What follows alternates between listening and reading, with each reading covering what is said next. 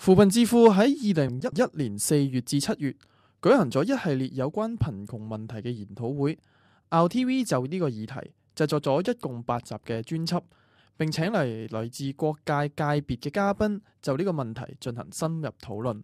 有興趣嘅朋友請留意 RTV 嘅網上更新。好，今天要給大家講一個字，這個字是這個字，就是“裸”裸字，裸，L U O，裸裸裸，第三声裸，这个字裸很多人都会啦，这个字就赤裸裸的裸裸。以前呢，我们看到这个裸字的时候呢，只有通常是用在赤裸裸，或是大家都很熟悉的裸奔啊。裸跑啊，裸晒呀，哈，这个裸字。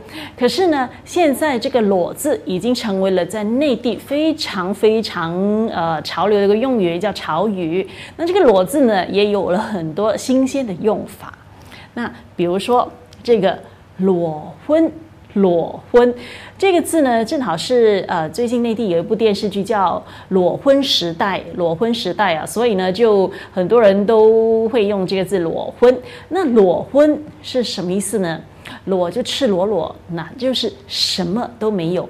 所谓的裸婚呢，就是你要结婚的时候，是你没有房子，没有汽车，没有存款，没有存款，也没有钻石戒指，你也没有婚礼，没有婚纱哈，也不会度蜜月，什么都没有，这个呢就叫裸婚。裸婚，那正好就是那部电视剧《裸婚时代》里面就反映了很多社会的一些现象，那导致现在很多年轻人呢，因为经济上的问题，所以呢，他们只好选择了裸婚。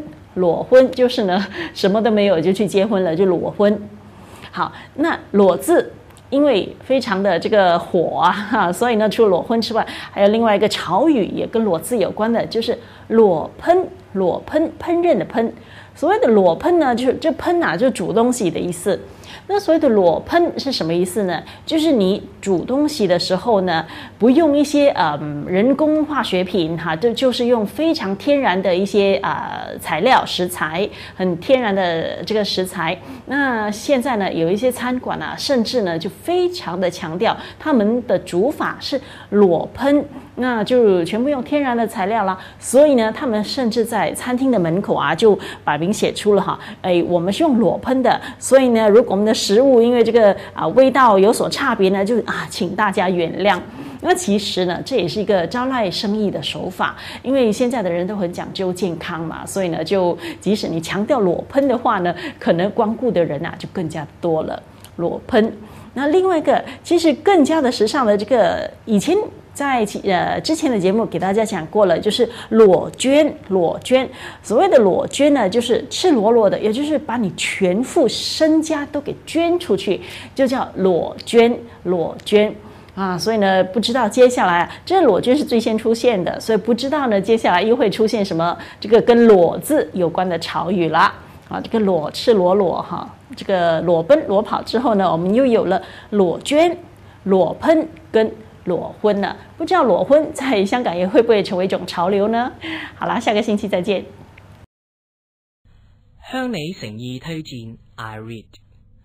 iRead 係咩嚟？iRead 係一個公共出版服務。公共出版服務主要服務非政府組織、公民社會組織。